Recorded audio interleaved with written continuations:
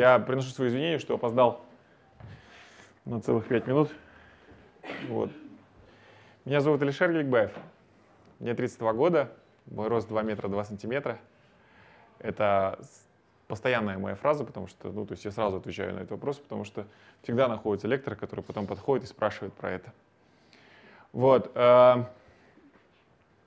Я работаю в сети торгово-развлекательных центров «Мега» с момента основания, 7 лет. У нас есть торгово-развлекательные центры в Алмате, Астане, Шимкенте, Аксюбе. А, осенью этого года мы открываем продолжение существующей «Меги» а, и строим еще одну «Мегу». Вот. Помимо этого я руковожу проектом Vox Populi а, на протяжении трех лет. Да, нам три года будет в октябре этого года. Вот. Э, из достижений, не знаю, ну, все были на Vox Populi, да, я надеюсь да, то есть не надо рассказывать, что это за проект. То есть мы тратим кучу денег, да, э, на то, чтобы рассказывать казахстанцам о казахстанцах. Вот, сегодня вышел материал на власть КИЗ о том, что у нас сказали, что мы в прошлом году заработали 500 тысяч э, долларов. На самом деле это правда, э, но могу сказать, что 380 тысяч ушли именно на командировки, расходы, на оплату персонала. То есть все, кто работает на Vox они получают зарплату в белую, это принцип, да, по которому там, люди должны иметь возможность брать кредиты, а, должны, за них должны отчисляться пенсии. Вот, это попытка создать такой абсолютно белый проект, да, то есть мы никогда не берем деньги в конвертах, мы не даем денег в конвертах, это, э, как бы мы не берем откатов, не даем откатов, не даем взяток, это тоже принцип. Если мы взяли деньги за репортаж, мы всегда ставим плашку либо совместно, либо на правах рекламы, либо на правах пиар. Вот. А, помимо этого я читаю лекции, а, закрытые для всяких там министров и руководителей всяких компаний. Вот. Сегодня одна из лекций, которая не платная, она бесплатная, то есть это то, та вещь, в которой я разбираюсь совместно с аудиторией. Да, то есть это, как вы понимаете, дорожное движение да, вот на дороге, да, люди, у людей стали появляться автомобили и все такое, а, оно появилось раньше, чем появились правила дорожного движения, да, то есть люди ездили как хотели раньше, да, то есть вот про эти знаки, ограничения, правила, это все появилось гораздо позже. В интернете сейчас творится та самая вакханалия, да, все двигаются куда хотят, делают что хотят, постят что хотят, да, то есть э, некоторые ограничения уже появились, да, там порнография, пиратское видео, да, а, то есть там стараются родители контролировать уже, что их дети делают в интернете, да, постепенно какие-то правила будут появляться. И правила эти будут формировать э, люди, которые в этом интернете чего-то стоят. Вот. Что такое Facebook? Да? Крупнейшая социальная сеть в мире, почти 1 миллиард человек заходит на сайт хотя бы раз в месяц. Да? Суточная аудитория более 500 миллионов человек. Неужели вас до сих пор там нет? Ну, это больше для чиновников, да, фраза. Вы-то там есть? Давайте. Для чего вам нужен аккаунт Facebook, да? Для общения с друзьями и обмена информацией. Это хорошо. Для продвижения себя, компаний, заработка денег, на мой взгляд, это плохо. Ну, потому что если вы не живете этой жизнью, вы зарабатывать не будете там. То есть, ну, или будете зарабатывать через «не хочу». И на самом деле, э, как бы на Vox Populi э, я взял SMM-менеджером соклассника своего. Ну, вот пришла мама э, моего соклассника сказала, слушай, вот твой друг без работы, да, вот я думал, что SMM это так легко на самом деле, да, что взял его на работу к себе и сказал, будешь заниматься SMM. Вот. И я понял, что если человек не живет этим, да, то есть ему не интересны твиттеры, ему не интересна эта тусовка, ему не интересны люди, он с ними не общается, да, то СММщик из него хреновый на самом деле. Правило Facebook, да. Я открываю Facebook вместе с вами, поэтому совместно с вами хочу обсудить несколько этических моментов. Да? Монолог мой заканчивается, а дальше начнется, надеюсь, диалог. Давай дальше. Вот. Правило номер один. Можно ли материться в своем профайле?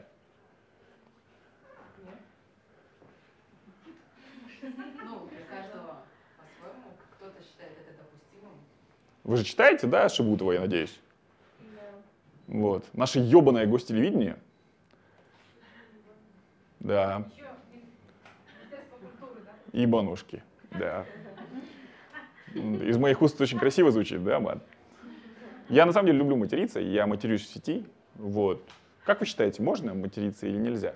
Знаешь, я раньше Э, как бы выяснилось, что это вина не группы казаки, которые согласились на сотрудничество и с радостью были готовы э, сняться для Vox Populi, а, как бы это казахстанские организаторы для того, чтобы отшить нас, просто сказали, а казаки отказались, сказали, что вы им не интересны. Вот, то есть, и поэтому была у меня реакция такая, что я написал, что группа казаки, оказывается, пидорасы не только в прямом, но и переносном смысле. Вот. Давайте проголосуем. Кто считает, что можно материться со своего аккаунта? Раз, два, три, четыре, пять. А если вы не работаете даже в интернете, ну то есть все равно нельзя, да? То есть странно. Хорошо. Кто считает, что нельзя материться? Вас большинство.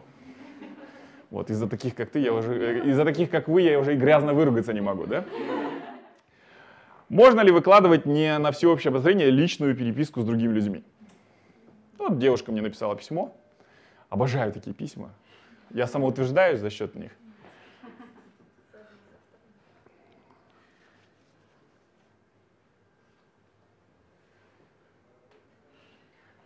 Все прочитали? Все насладились? А? а? Нет, она же просто хотела подойти познакомиться, просто стеснялась. Вот. Я ей сказал, не стесняйтесь, подходите. Вот, потом как начал народ подходить и знакомиться.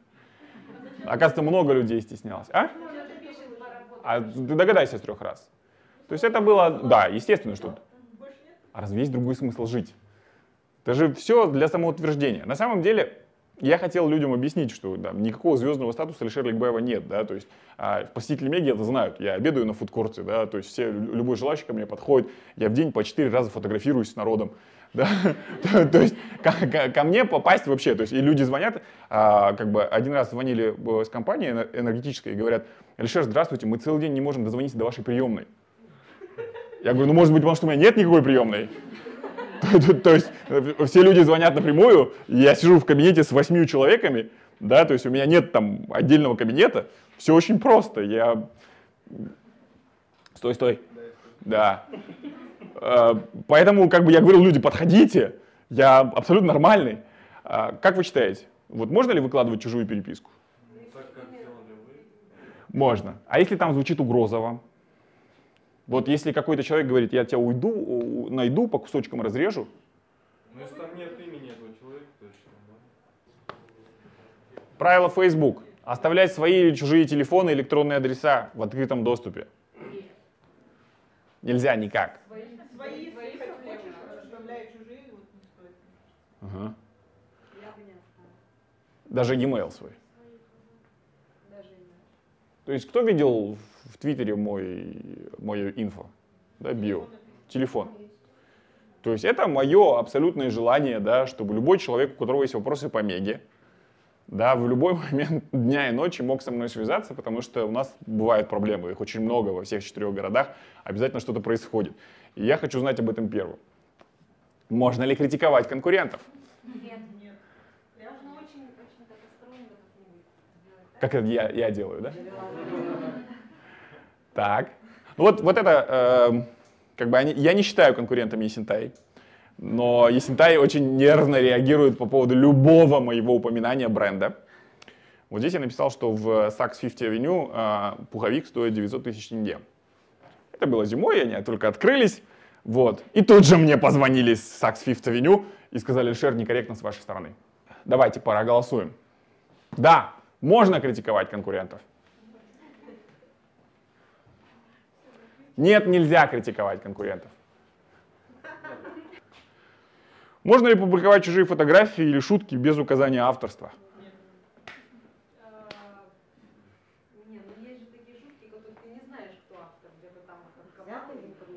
Вот есть такой значок C в кавычках.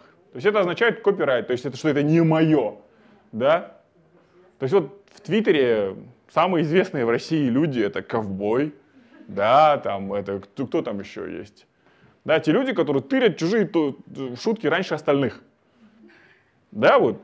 То есть причем там, там периодически появляются шутки Саши Цоя, да, через там несколько, некоторое время. Там еще других там шутки появляются. Да, то есть и автору реально обидно. Я думал, что вот эти 140 знаков это не обидно, когда тырят их. Пипец, как обидно оказывается. Давай. Добавлять ли в друзья людей, с которыми вы не знакомы? Я два раза добавляла человека для того, чтобы с ним познакомиться. В смысле, мне нужен был этот человек, чтобы с ним как-то связаться. Ему сообщение не могла отправить, добавила в друзья. Он э, добавился, и ему написал сообщение. Хорошо, а остальных всех ты знаешь на Фейсбуке? Вот ты- с кем ты дружишь? Да. То есть у тебя там сколько друзей? 500. 500. Ты каждого из этих 500 человек? Знаю, есть интернет? Давайте проверим ее. Будем открывать и спрашивать, чем занимается друг Сании Серикавой с именем Мутулку Мыки. Добавлять ли в друзья анонимов? Алишер Абдраимов. Великолепное фото фас. Вот. Никаких фотографий. Только это долбанное приложение. Это спам. Почему он может засорять? Не, а может просто вот за этим вот, я знаю, я встречался с представителем правления Банка развития Казахстана, очень, очень долгое время скрывался за вот такой аватаркой. То есть он действительно все читал, всех знал, знал все сплетни рынка, да, то есть мы когда с ним встречались, я говорю, а вот как вы по каким ником вообще там сидите? Он говорит, ой, неважно. Давайте проголосуем. Добавлять, друзья, анонимов давайте, можно. Кто считает? Один человек. Ты вообще толерантный, я погляжу, да? Ты... Все можно. Вот. То есть этот человек, если бы он писал правила дорожного движения, он бы говорил, давить беременных можно. Вот. Нет, нельзя. Кто голосует? Анонимов добавлять. Окей, мы создаем такой сам кодекс этики поведения на Фейсбуке. Дальше. Писать общие письма. Это жесть вообще, да? То есть кто сталкивается с этим на Фейсбуке, да? Вы попадаете, 50 человек вас добавят, и там начинается чат. Такой тух-тух-тух-тух-тух-тух. Ну, то есть... Это еще... Это... и-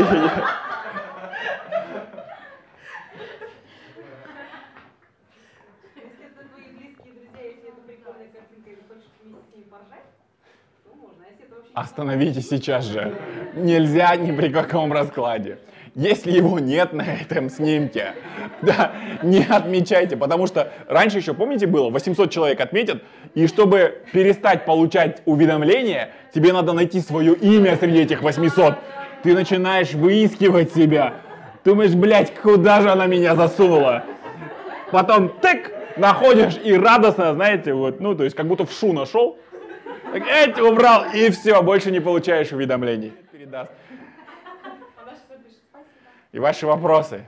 Ну, в принципе, мы закончили раньше, чем я